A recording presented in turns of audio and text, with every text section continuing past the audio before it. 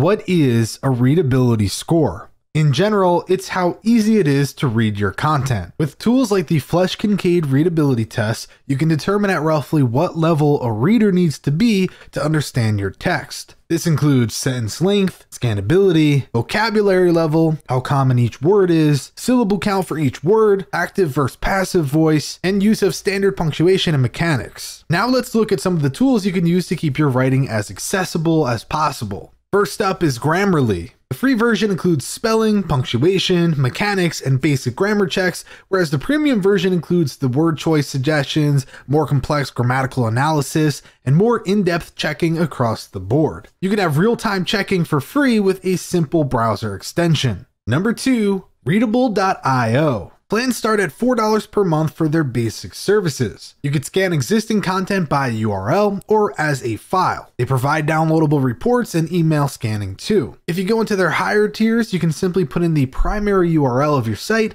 and they will scan the entire thing and send you a report of what works and what doesn't. Number three, WebFX Readability Test Tool. This free tool allows you to copy and paste the entire text directly to be analyzed. You can insert a single link at a time and even include a button in your footer or sidebar where you can dynamically check any page on your site. You also get access to multiple scores and ratings of your writing. Now let's check out some WordPress plugins. First up is Yoast SEO. Not only does it keep track of the keyword targets you're writing for, but it also has a complete separate section dedicated to the readability of your posts. You're given a rating of red, yellow, or green. You are graded on a lot of different points, and you don't need to get a green rating in all of them to be good. Number two, SEMrush SEO Writing Assistant. This plugin will go over your content, give you a score, suggest keywords, help you adjust based on the top Google results, and even check for plagiarism. Once your content is scored, you'll get suggestions based on which sentences and words you can improve. And finally, number three, Squirrly SEO. If you're not the type who wants numbers to rate your content